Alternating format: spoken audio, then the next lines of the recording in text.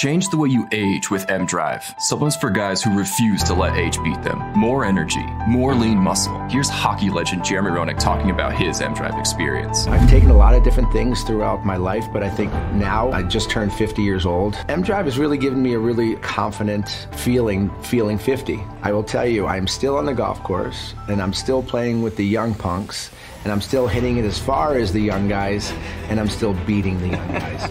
Your mind is going to work better. You're going to you're going to have more fun. Your workouts are going to be better. And M Drive has just given me that confidence inside my body and inside my mind because I look better and I feel better. I don't feel 50. I don't act 50. For me, uh, 50 is the new 30, and I'm looking to make it to 100. I just refuse to grow old. Energy, strength, drive, M Drive. Supplements for driven men. Go to mdriveformen.com. Use code POD20 for 20% off your first purchase. Don't let age beat you. Visit mdriveformen.com.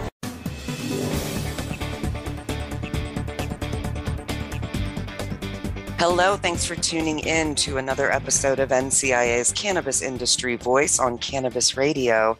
I'm your host, Bethany Moore, and I am the Deputy Director of Communications at the National Cannabis Industry Association. We have an awesome episode planned today, and thanks to Bridge West CPAs for sponsoring this very special episode. Bridge West CPAs is one of the first accounting firms in the world to focus solely on the cannabis and hemp industries in the US. And today I'm delighted to introduce my guest, Governor Jared Polis, born and raised in Colorado. He's an entrepreneur, education leader, and public servant. Prior to becoming governor, Polis brought medical experts, advocates, attorneys, and scientists to Washington, D.C. to legitimize cannabis legalization in the national conversation and led the way for new market opportunities for agriculture while serving as the congressman for Colorado's second congressional district. Welcome to the show today, Governor. It's a pleasure to be with you. Wonderful. So let's jump in and just briefly, let's talk about your background and how it inspired and pushed you into serving in government and a bit about your values uh, that inspired you also to serve in these roles? Well, thank you, Beth, Bethany. Um, you know, I uh, was an entrepreneur in the private sector and uh, started a number of tech companies. Really enjoyed that work. Uh, proflowers.com, co-founded BlueMountain.com. I started an internet access provider, and uh, loved growing those companies to scale. And uh, really, uh, after I had sold several of them, I, I wanted to get back, and I just said, you know what, I could do more companies, and that's fun, and maybe I'll do it someday. But it is more exciting for me to try to make our state, our country, and our world a better place. And so uh, I start I started off on serving six years on the state board of education, which is a part time job. I was able to stay in business during that, and I uh, started a couple charter schools, which was uh, kind of uh, active um, social entrepreneurship. I was superintendent of a charter school, grew that. It was a lot of fun and uh, then decided to go full time and run for Congress in in 2008. And obviously, one of those issues that um, that I, I, care about and, and wanted to work on was really just a rationalization of the country's marijuana policy and uh, recognition of the failed policy of prohibition. And we had an initiative in Colorado, which I supported, regulate, you know, marijuana like alcohol. And when you look at, you know, when you look at marijuana and you look at alcohol and, and, you just say, why is there such a different, a vastly different regulatory scheme for both of them, even though in many ways alcohol can have worse impacts in terms of both its addictive qualities and uh, the dangers you might be in if you're temporarily inebriated, like driving. So, uh, you know, it was uh, I was glad to go to Congress to fight for that. I started the Cannabis Caucus. I was one of the early voices there to uh, start moving the national discussion towards a rationalization of our policies. Absolutely. Well, we at NCIA and all of our members are um, very appreciative of all your efforts there. So uh, that's a great background. And currently, you're sitting as governor of Colorado since 2019. So, yes, this is a cannabis industry podcast, and you are a wonderful cannabis industry and policy reform champion. So, let's talk about these issues, starting with why further that you support these issues. Even as a representative in the House, as you mentioned, before becoming governor, you co founded the first Congressional Cannabis Caucus in 2017. So let's let's dive a little more into your reason for being a vocal supporter of cannabis reform when uh, even just a few years ago, it was still a very fringe issue. You know, I'm a, I'm a firm believer in individual freedoms and people's ability to choose and live their own lives. And, uh, you know, this is a real opportunity to, to break through on this issue. I think really we need to fundamentally look at how we can empower people to make their own decisions rather than have government make them for them. And I think uh, marijuana was really able to break into the mainstream because a lot of the noise around reefer madness was simply based on fiction rather than, than fact. And so uh, I got to work creating the fertile ground that a regulated, you know, cannabis industry needs to thrive. And and uh, obviously, in Colorado, we got to see a lot of the benefits from the growing industry, hospitality, tourism, consumer services, uh, putting illegal drug dealers out of business. And you know, from from really all, all consumer goods are, are are areas that there's been a lot of growth. We did cannabis delivery in Colorado. I got to sign that bill. We did uh, retail marijuana hospitality where there's there can be uh, testing rooms nearby, and it's really about striking the balance to encourage innovation. I really have so much admiration for some of those early entrepreneurs who uh, were even facing potential legal threats when they got into business, and there's those who still do. But I think we what we need to do is lay a strong foundation, empower people to make choices, allow businesses to grow and thrive.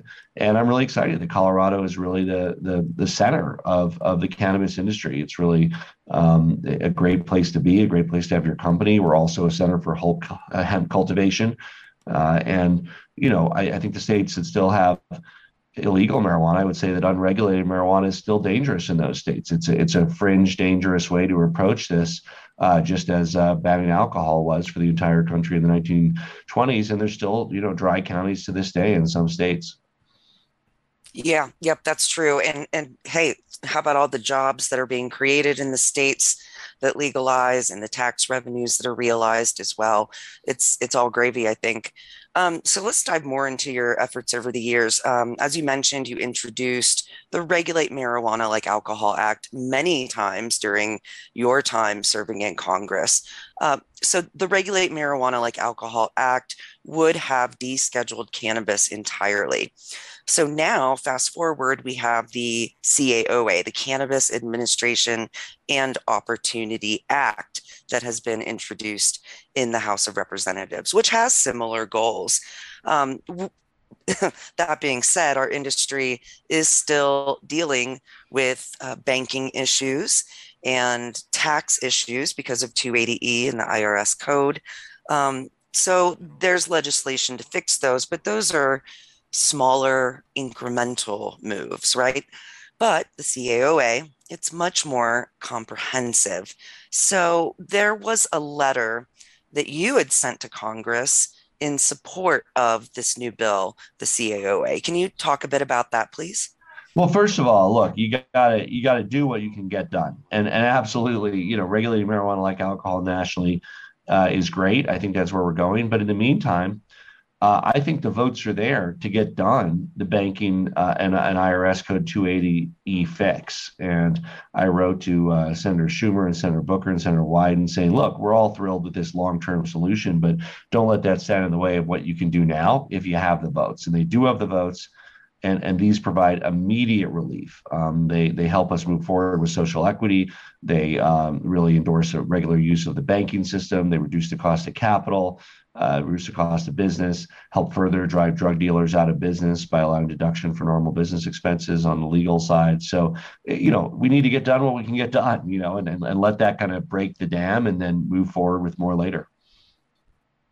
Absolutely. So I, I, yeah, we're grateful that you're spreading the word amongst other members of Congress to to push this this legislation forward.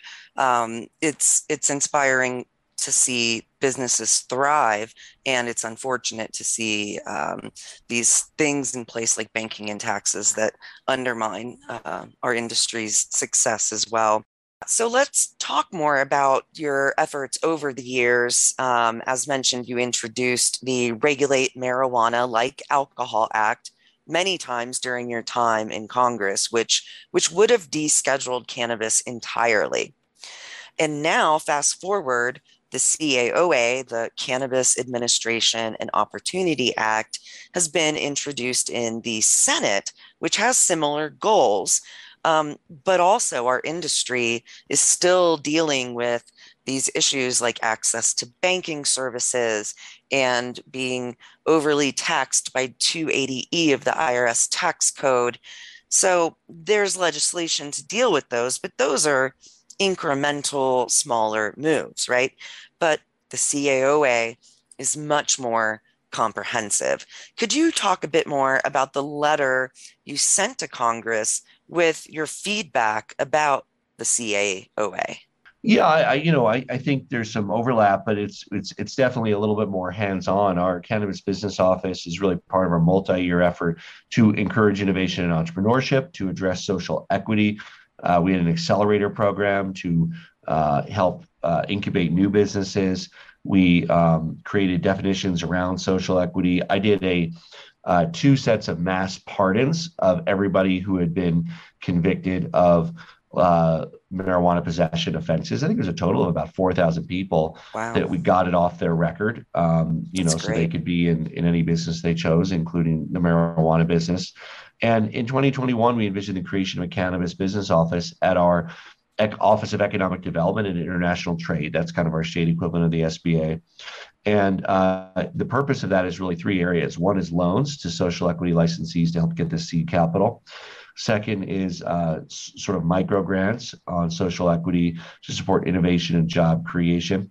And third is supporting the business owners through really hands on technical assistance uh, and and helping them get there. That that, that you know a lot of uh, services at the SBA were unavailable, are unavailable because of the federal prohibition. So we had to really say, look, we can be hands on, we can help you.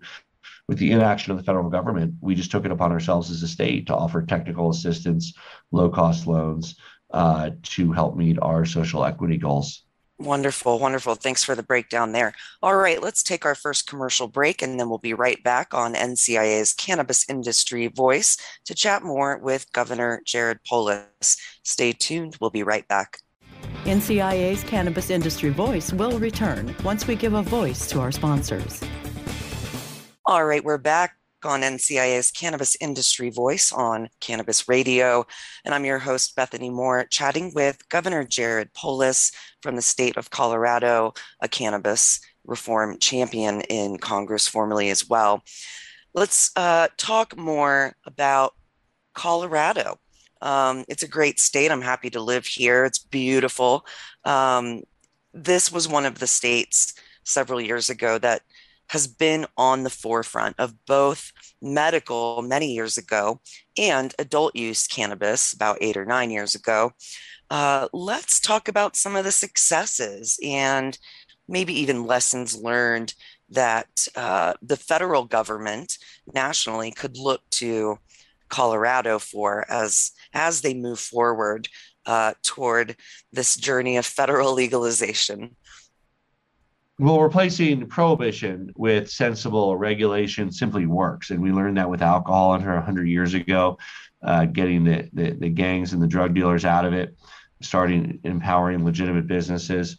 Uh, we also saw that when there was the uh, the vape crisis in 2019, the states that did not have legal use of cannabis had many severe health impacts and were devastated. Here in Colorado, we almost entirely avoided that devastation because of our health and safety regulations. And so, uh, you know, a lot of the fears of those who opposed it didn't manifest, like legalization did not lead to more underage use.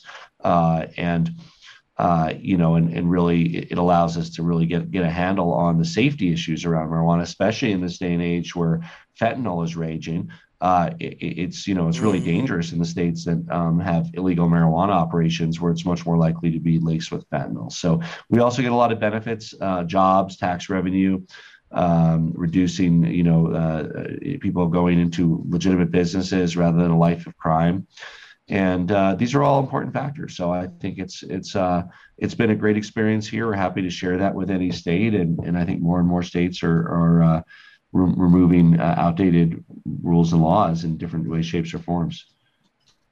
Sure, there's still a lot of these uh, stigmas, and you had mentioned reefer madness earlier in in the show, and I think that's so true that um, the the perceptions and stigmas of cannabis are just completely outdated, and and those that are you know serving in these roles that would have the opportunity to decide otherwise really just need to be educated. Um, and I'll talk a bit about NCIA's lobby days later and how we uh, do our best to contribute toward that education effort as well. So um, I wonder what what what has it been like watching the industry, but also the conversation in Congress. Um, you know, even here in Colorado, evolve. Um, the the Regulate Marijuana Like Alcohol Act was a pretty concise, simple bill, and and now we have, as I mentioned before, more bills out there like the Safe Banking Act. Uh, the MORE Act, the Marijuana Opportunity Reinvestment and Expungement Act, um, and the CAOA, which I mentioned earlier, and the States Reform Act. Wow, that's that's a lot of uh, that's a lot of legislation related to cannabis in in Congress now. Um, considering just a few years ago, we just had you know one or two small bills. What's that been like for you, um, being involved, watching that evolution? Well, look, I mean, again, we you got to get done what you can, and and you know the danger is getting nothing done when you have an opportunity to do something. For instance, around banking, which is really uh, a major uh, danger and threat. It's a serious economic and public safety threat. Lack of access to banking. And I was really proud to support uh, SAFE Act as a congressman, formerly as governor.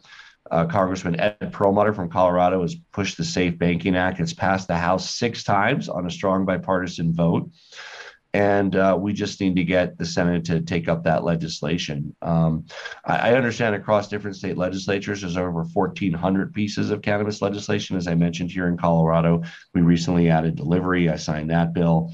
Um, we're, we're, working on additional ways to uh, support the, the industry in a safe way. But I think fundamentally, um, we have to take this opportunity to, to get something done rather than just talk about it. The danger is uh, you know, you keep on talking about it. Maybe someday you're going to win, but in the meantime, there's a lot of collateral damage along the way. So I hope at this point, uh, the SAFE Act, the banking, the 280E fix, these are things they need to do nationally, and that'll help pave the way towards uh, achieving the goal of regulating marijuana like alcohol. Yeah, absolutely. Um, yeah, having delivery added um, here in Colorado has been wonderful, and I I I think that that was something perhaps that may have been born out of uh, the the COVID nineteen pandemic that we all faced as well, when cannabis was thankfully declared an essential business in this state as as well as many others. Um, so seeing all of these opportunities, uh, delivery creates a whole another job sector opportunity for people to start small businesses and work for small businesses. Um, so that's fantastic as well. Um, I I would like to talk about a little bit of storytelling. Um, obviously, NCIA has been a supporter of your your work in Congress and as governor. Uh, so let's let's take a little blast from the past here. Um, so Ean Seeb is a former cannabis industry executive who also served on the NCIA board of directors for seven years.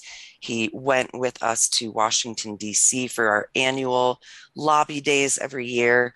Uh, but in the past couple years, he has changed his job and is now uh, your special advisor on cannabis as well. I just think that's a great story arc to see someone who worked in the industry um, from medical laws and is now um, in a in a position to advise the governor on um, on pushing our industry forward and helping it thrive as well.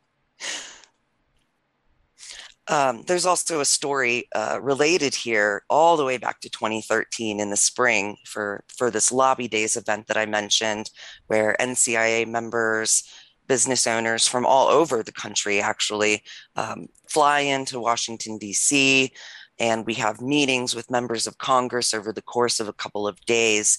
And Ean uh, met with you when you were a member of Congress to talk about the Safe Banking Act, the Secure and Fair Enforcement Banking Act. Then he gets back from our awesome trip to DC, checks his mail, and what is there? There's a letter from the bank, and it's bad news. so um, having just met you in Washington, D.C., he reached out to you when you were a congressman and um, you you helped you you wrote a letter to Ean's bank talking about this banking issue and your support of the cannabis industry. So again, there's this really beautiful long arch story here of a cannabis operator turned advisor to the governor. And unfortunately, that was 10 years ago almost. So we are still working on getting banking passed for cannabis. Do, do you remember that, Governor Polis? Absolutely. So I, you know, it's it's really exciting. To, I, at that time, I had no idea that Ean would run our cannabis policy. Right? I didn't even think I'd, you know, be governor or run for governor or anything like that. But then when I did, and I was looking around for, hey, we need somebody at a high level to help us move this issue forward. Um, Ean was interested, and and now we've come full circle, and he's heading up cannabis policy for the state of Colorado uh, he gets to be on the other side now and see a little bit about how hard it is sometimes to make progress. But uh, we're really excited to have him, and and really his experience in the industry is a great asset to our administration in really addressing the real life issues that the industry faces. Yeah, absolutely. Yeah, that's a that's a great story um, as well. So, all right, let's take our final commercial break here, and then we'll come right back and wrap up our conversation with Governor Jared Polis from Colorado. Stay tuned. We'll be right back. NCIA's Cannabis Industry Voice will return once we give a voice to our sponsors. All right, we're back on NCIA's Cannabis Industry Voice on Cannabis Radio. I'm your host, Bethany Moore, with the National Cannabis Industry Association, chatting with Governor Jared Polis from the state of Colorado. So, we covered a lot of legislation uh, from the Safe Banking Act to the MORE Act, States Reform Act, and just the history of all this legislation that's been churning through through the federal government and Congress. And the House of Representatives has really been more helpful um, in passing some of this legislation. I think safe banking has passed six or seven times now, which I think you already mentioned. Um, but it, it tends to just kind of get stuck on the Senate side. And that's not just cannabis issues. It seems that legislation across the board is just bottlenecking over there in in the Senate. But as governor now, uh, you have a little bit of a different role. So uh, I understand that you wrote some official letters to ranking members of Congress, um, meaning they likely serve on banking and finance committees and so on, um, in support of the Safe Banking Act. Um, hey, it's gone six or seven times through the House, so there there is support, bipartisan support. So this letter that you wrote is also a bipartisan letter urging Congress to include the Safe Banking Act in the final 2022, the National Defense Authorization Act for the fiscal year. Could you tell me more about that letter?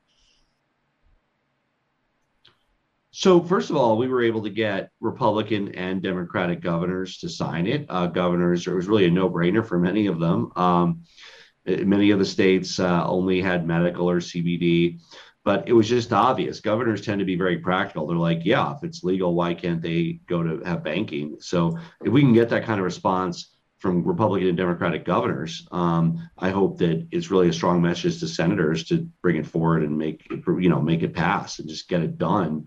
Um, passing the Safe Banking Act and other legislation that helps all the businesses that touch uh, cannabis gain access to financial support uh, is critical. And every other regulated industry by states has that.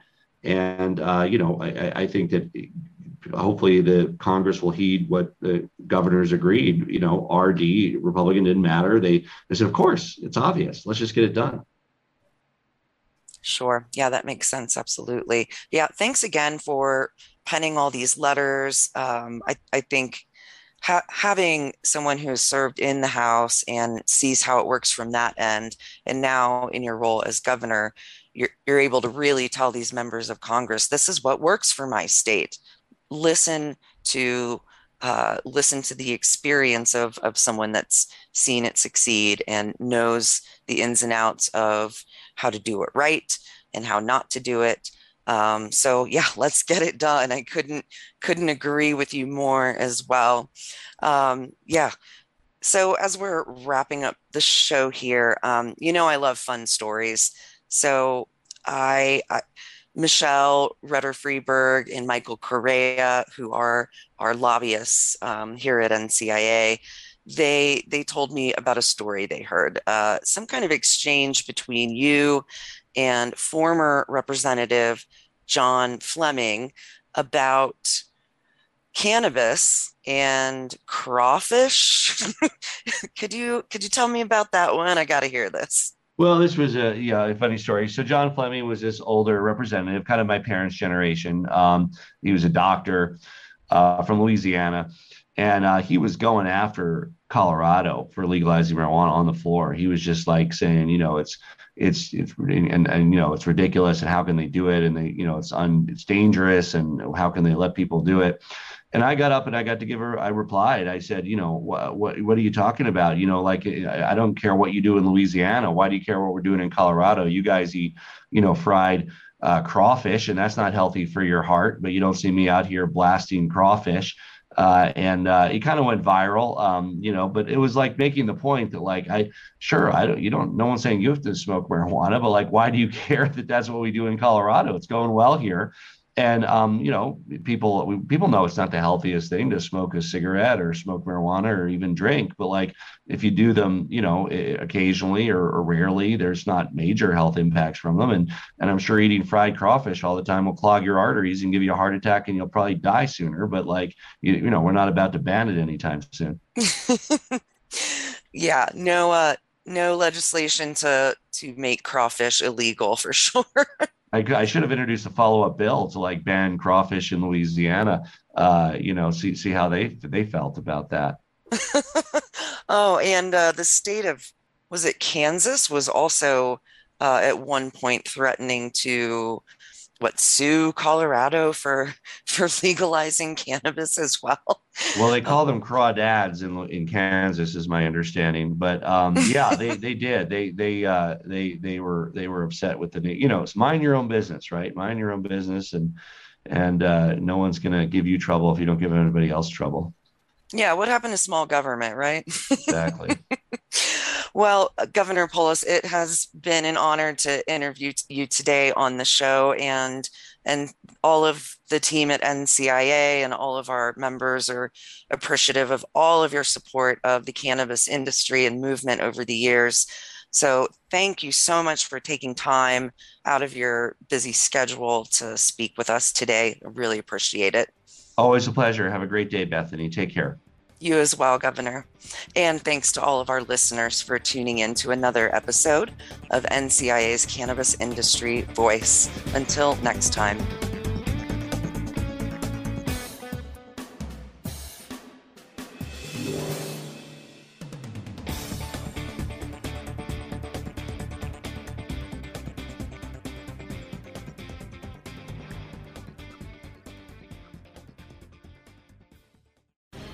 The opinions expressed on this CannabisRadio.com program are those of the guests and hosts and do not necessarily reflect those of the staff and management of CannabisRadio.com.